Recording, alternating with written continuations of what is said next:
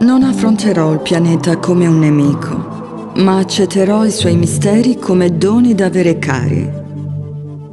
Non cercherò rozzamente di pelarne gli strati come si fa con una cipolla.